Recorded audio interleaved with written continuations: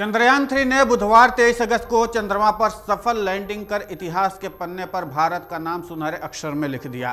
भारत चंद्रमा के दक्षिणी ध्रुव पर उतरने वाला दुनिया का पहला देश बन गया है। देश के इस सफल अभियान के बाद पूरी दुनिया में भारत का डंका बज गया है। इसे लेकर देश भर में उत्साह देखने को मिल रहा है। चारों तरफ़ भारत के चंद्रयान थ्री की ही बात हो रही है। ऐसे में अब लगभग पाँच दिनों बाद भारत का चंद्रयान थ्री चाँद और वहाँ पर पाई जाने वाली मिट्टी के बारे में जानकारी देनी शुरू कर दी है। आपको बता दें कि विक्रम लैंडर और रोवर प्रज्ञान के सभी उपकरण पूरी तरीके से ठीक ठाक काम कर रहे हैं।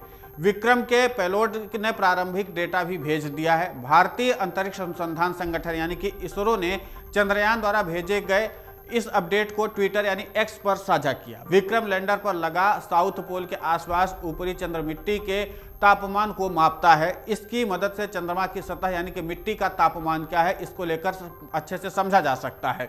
इसमें एक टेम्परेचर प्रोब है, जो कंट्रोल डक एंट्री सिस्टम की मदद से सतह में 10 सेंटीमीटर गहराई तक पहुँच सकता है और चंद्रमा पर मौजूद मिट्टी की जाँच करने के लिए 10 अलग अलग तापमान सेंसर लगाए गए हैं। इसरो ने अलग अलग गहराई पर चंद्रमा की मिट्टी के तापमान के अंतर पर एक अलग ग्राफ साझा किया है। यह बताता है कि चंद्रमा की सतह पर तापमान कैसे बदलता है। दरअसल विक्रम लैंडर में लगे चंद्रमा के सरफेस थर्मोफिजिकल एक्सपेरिमेंट के ज़रिए किया गया है। पहला अवलोकन जारी कर दिया गया है। चाहे एस ने चंद्रमा के दक्षिणी ध्रुव की ऊपरी सतह का तापमान प्रोफ़ाइल भी तैयार किया है। चंद्रमा की मिट्टी को लेकर के हमारे मन में अब तक की कई धारणाएँ बनी हुई हैं। ऐसे में चंद्रयान थ्री चंद्रमा की मिट्टी पर कई शोध कर रहा है ताकि चाँद की मिट्टी और उसके बारे में अलग अलग जानकारी मिल सके।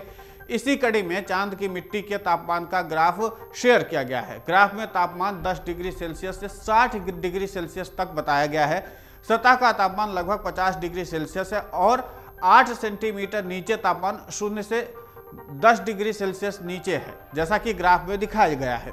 इतना इन्हें विशेषज्ञों ने चंद्रमा की मिट्टी के तापमान को उदाहरण देकर समझाने की कोशिश की है। विशेषज्ञों ने राजस्थान और जम्मू कश्मीर का उदाहरण देते हुए बताया है कि अगर भीषण गर्मी के दौरान राजस्थान के रेगिस्तान में है तो तापमान 50 डिग्री सेंटीग्रेड के आसपास तापमान हो सकता है। इसी तरह यदि आप सर्दियों के दौरान जम्मू और कश्मीर में हैं तो तापमान शून्य से 10 सेंटीग्रेड या इससे भी कम हो सकता है, इससे भी ज़्यादा ठंडा हो सकता है।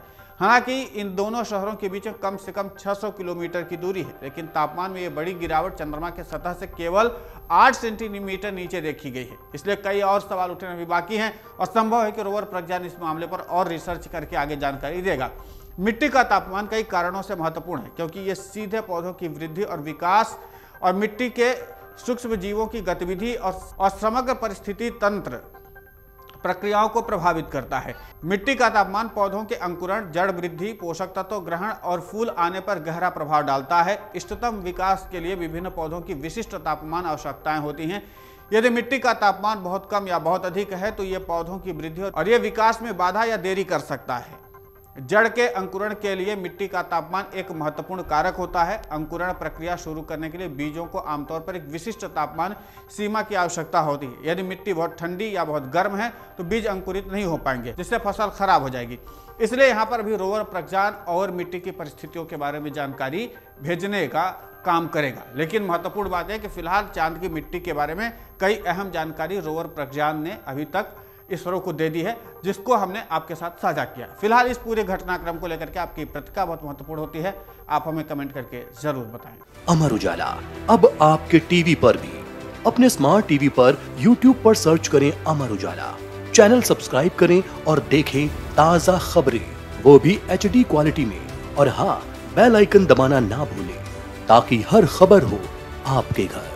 अमर उजाला, निष्पक्ष, निर्भीक, निरंतर।